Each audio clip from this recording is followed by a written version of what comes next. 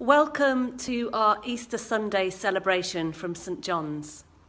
Some of us will gather in church this morning to celebrate that Christ is risen.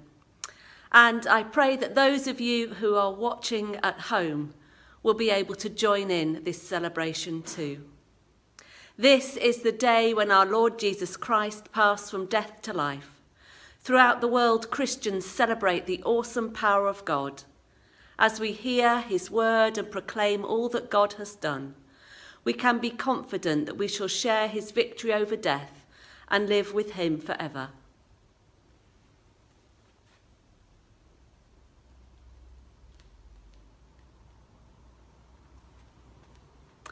May the light of Christ rising in glory banish all darkness from our hearts and minds. Alleluia.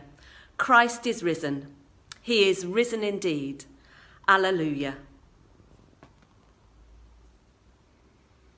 This year at St John's, we set up six different stations within the church to tell the story of Holy Week and Easter. It's a project called Experience Easter that began in Gloucester Diocese and has since been used around the country. Here in Sandiway, we invited classes from our local primary schools and uh, used the, uh, all the different areas during Lent within our own congregations to, to remind us and help us recollect the story of those seven days which are at the heart of our faith. And so I'm now going to share with you some of the pictures. And uh, as we listen to the music when I survey the wondrous cross, I hope that you will experience Easter with us too.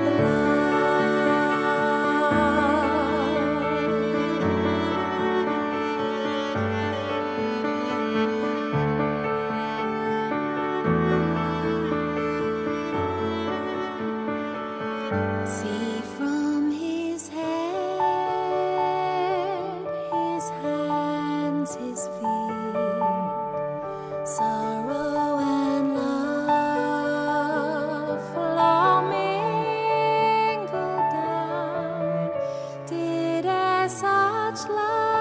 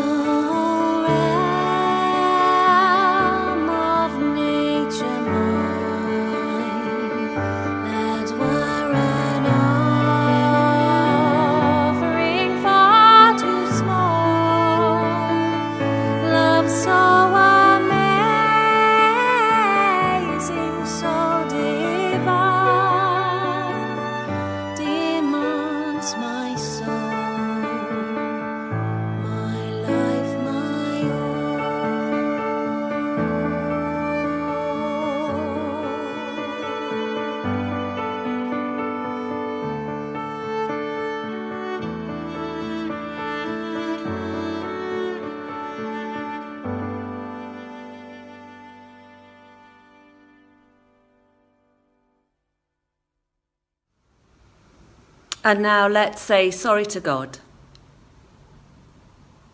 When we have failed to recognize you as Saviour, when we have failed to acknowledge you as our risen Lord, when we have doubted that you are with us, Lord, forgive us and fill our hearts with joy. When we have not shared your good news, and when we have been too concerned with ourselves, when we have not shared the joy of knowing you with others, Lord, forgive us and fill our hearts with joy. When we have failed to bring hope to the hopeless, when we have failed to bring joy to the joyless, when we have failed to offer your grace to those who hurt us, Lord, forgive us and fill our hearts with joy. And may the God of love and power forgive you and free you from your sins heal and strengthen you by his Spirit, and raise you to new life in Christ, our Lord. Amen. Sue is now going to read our Bible reading for us. The reading is taken from the Gospel of Luke, chapter 24. But on the first day of the week, at early dawn, the women came to the tomb, taking the spices that they had prepared they found the stone rolled away from the tomb, but when they went in they did not find the body. While they were perplexed about this, suddenly two men in dazzling clothes stood beside them. The women were terrified and bowed their faces to the ground. But the men said to them, Why do you look for the living among the dead? He is not here, but has risen remembering how he told you, while he was still in Galilee, that the Son of Man must be handed over to sinners, and be crucified, and on the third day rise again. Then they remembered his words, and returning from the tomb they told all this to the eleven, and to all the rest. Now it was Mary Magdalene, Joanna, Mary the mother of James, and the other women with them who told this to the apostles. But these words seemed to them an idle tale, and they did not believe them. But Peter got up and ran to the tomb, stooping and looking in. He saw the linen cloths by themselves. Then he went home, amazed at what had happened. This is the word of the Lord. Thanks be to God. Having those decorations from Experience Easter in church uh, during Lent and for Holy Week have reminded me of the unexpectedness of events, of the surprise that lies at the heart of the Christian faith. We remembered that Jesus rode into, a, into Jerusalem on a donkey as the crowds cried, Hosanna, save us. But the promise of salvation was not that brought by a soldier king who would overthrow the Roman armies, but a servant king who would kneel at his disciples' feet and wash their feet, taking on the task of the lowest servant in the household. And then Jesus shared bread and wine with his friends in his last meal and left an example, a legacy for Christians to follow. And of course, we have done that in the, in the uh, service of Holy Communion as we share bread and wine together. And remember Jesus who shared bread and wine with his friends on the night before he was betrayed. And then the arrest and trial and death of Jesus. Pain and humiliation came to Jesus not in an unexpected way, because the Gospels are clear that he knew what was coming. And Jesus was not the first or the last to be punished in a cruel way and to suffer the injustice of a sham trial. But the shock that this is God's Son who's chosen this path. And then we get to Easter Sunday the most unexpected surprise, the empty tomb and the appearance of the risen Jesus to his friends. Despair turned to hope, and God's love triumphed over the darkness of death. What a topsy turvy story! And God is found in the most surprising and unexpected places. As we look around the world today, we will be conscious of darkness and suffering. And we know that for many people today, it will be hard to celebrate anything. Those who have had to flee from their homes, those across the world who are suffering under violent regimes. It can be hard to hold on to hope, but as Christians, we do that. That Jesus did not forego the pain and humiliation and walked his footsteps to the cross. And yet, God's power, God's love, restored him to life. And today, in this world full of contradictions, this world full of pain, I pray again that Christ would change the hearts of those bent on violence, but also walk with and comfort those whose lives have been devastated and torn apart. Wherever we are today, may we be caught up again in the surprise of God's love. May our breath catch and our hearts rise with the hope of God's love demonstrated in the resurrection of Jesus, who lives and reigns with God the Father and is with us by his Spirit today. Amen.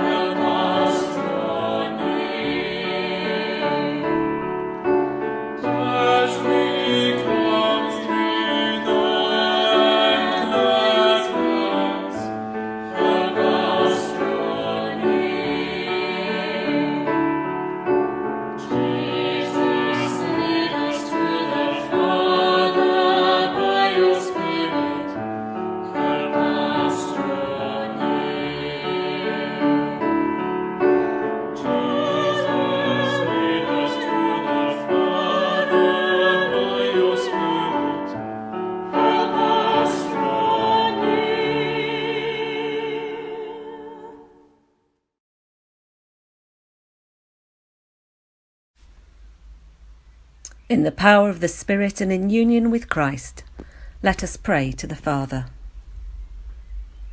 God of grace, we bring before you those who have no joy and no hope, those who see no future, no light at the end of the tunnel, those scarred by pain and sadness, and those who grieve. We remember today those who are struggling with debt and those who are anxious about the future. God of grace and resurrection power, bring your joy and healing today. We pray for all those who are living in places of danger and violence. women, men, and children forced to leave their homes to escape war and fighting. Particularly, we pray today for the people of Ukraine, Afghanistan, Syria, and the Yemen, and all places in the world where people are tormented by violence. We pray for women, men, and children trying to escape from violent partners and relatives and those who have woken up in fear this morning. Please bring them to a place of safety. God of grace and resurrection power, bring your joy and healing today.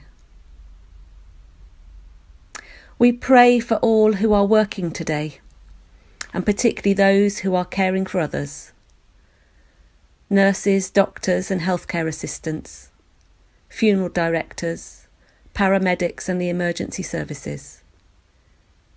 Give them strength and patience as their time is spent looking after others and as they face so many demands. God of grace and resurrection power, bring your joy and healing today. We pray for all who are sad, and particularly for those who are grieving whether the loss has been recent or longer ago. Surround them with your love, uphold them with your strength, and may your light shine in the darkness of loss. God of grace and resurrection power, bring your joy and healing today. We pray for ourselves that we may have wholeness, peace, and hope through the presence in our lives of the risen Lord. May we be Easter people willing to share the good news of hope, restoration, and freedom with all those that we meet. Merciful Father, accept these prayers for the sake of your Son, our Saviour, Jesus Christ. Amen. And as our Saviour taught us, so we pray. Our Father in heaven, hallowed be your name. Your kingdom come, your will be done on earth as in heaven. Give us today our daily bread. Forgive us our sins, as we forgive those who sin against us. Lead us not into temptation, but deliver us from evil. For the kingdom, the power, and the glory are yours, now and for ever. Amen.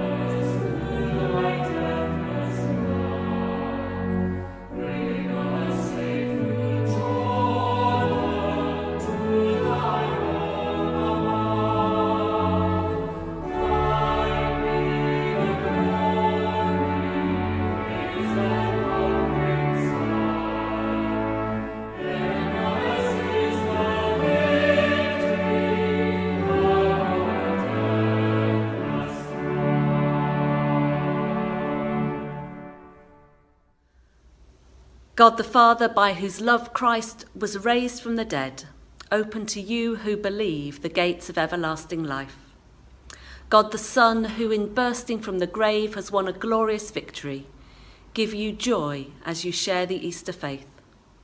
And God the Holy Spirit, who filled the disciples with the life of the risen Lord, empower you and fill you with Christ's peace. And the blessing of God Almighty, the Father, the Son, and the Holy Spirit be among you and remain with you always. Amen.